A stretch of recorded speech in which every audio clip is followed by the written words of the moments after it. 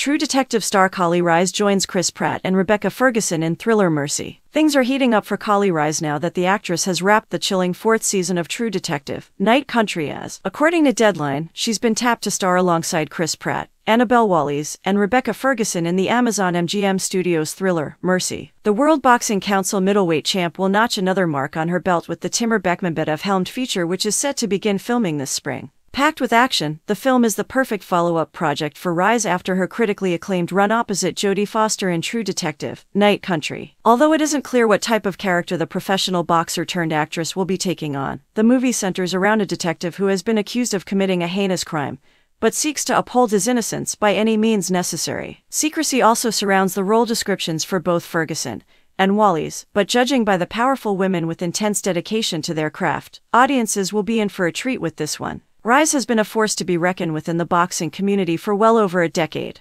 Along with holding bragging rights as the World Boxing Council middleweight champion in 2016, she has also nabbed other honors, including the World Boxing Association and World Boxing Organization titles. In 2021, Reis decided to shift her career and step outside the ring and onto a Hollywood set.